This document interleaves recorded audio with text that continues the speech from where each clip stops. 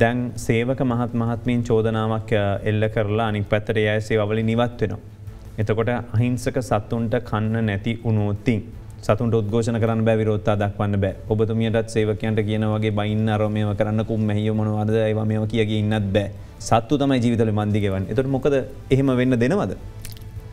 සේවකයෝ දෙසී හැට එකක් ඉන්නවා චතුර හැට දෙකයි පාරට බැස්සේ අනිත් ඔක්කොමල්ලම ඇතුළ වැඩ කන්න සත්තුන්ට කන්න දෙනවා.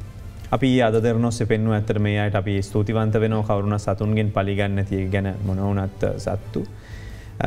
ඒයට කතා කරන්න බැරිහින්ද ඉතින් ඒක විශේෂද හැබැයි දැන් මේක ඊළඟ කොටසට දැම් මේකොල හැට දෙක අඩුවෙන් දුවන්න පුළුවන්ද ඉස්සරහට මේකොල දිගට මේ වර්ජන ඉස්සරහට අරගෙන ගියෝති.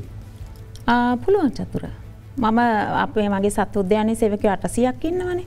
මට අවශ්‍ය අත්‍යවශ්‍ය වනොති ම පින්නවලිනුත් ගෙන්න්න ගන්නවා අවශ්‍යනොත්ම රිදිය ගමිනුත් ගෙන්න්න ගන්නවා. ප්‍රශ්නය කිය කිසිම ප්‍රශ්නයක් නෑ.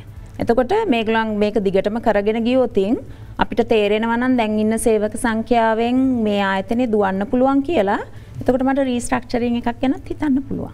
එකන ඉන්න ගන තොර තාව පඩි අඩු කල අඩුවෙන් තව ලාබෙකුත් අරගෙන ඉන්න කටිය පඩි අඩු කරන්න නෙමෙයි ඒතකොට දැන් එයාලා තමන්ගේ රැස්සාාවෙන් අයින් වෙනවනං එතකොට යාලා වැඩ කරන්න ඇතුව අපිට ආයතනය පවත්වාගෙන යන්න පුළුවන්නම් එතනින් යම් කිසි දෙයක් පෙන්නුම් කරනවානේ. එතකොට ඒ අනු අපිට අවශ්‍යනන් තීරණ ගන්න පුළුවන්. ගෑස් කාන්දුවීමක් සඳහා පරීක්ෂා කරන විට සීල් එක කඩන්නට පෙර සබන් වතුර ස්ප්‍රේ කරන්න. තවද නිවසේදී ගෑස් ලිබේ නොබ් එක ඕෆ් කර රෙගියවලේටරේ හොඳින් සවිකර ඔන්න එකෙද තිබිය යුතුයි. දැන් රෙගියවලේටරයට සහ හෝස් බටයට සබන්වතුර හොඳින් ස්ප්‍රේ කරන්න. ලේක් නැති බව හඳුනාගන්න. අපි දැනුවත්වේමෝ.